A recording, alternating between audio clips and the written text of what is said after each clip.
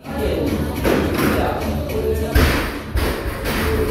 comes down, wants to tunnel, second attempt, 45 kilograms on the bar.